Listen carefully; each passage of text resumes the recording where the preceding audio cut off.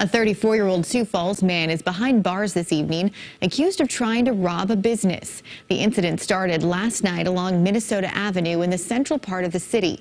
Authorities say a man was coming through the back door of the business. The employees tried to push him out, but officers say the suspect broke the lock on the door.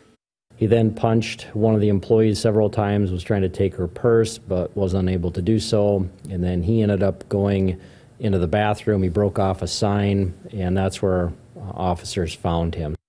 Investigators say no one was seriously hurt. Officers arrested Seth Poirier on charges of robbery, burglary, and assault.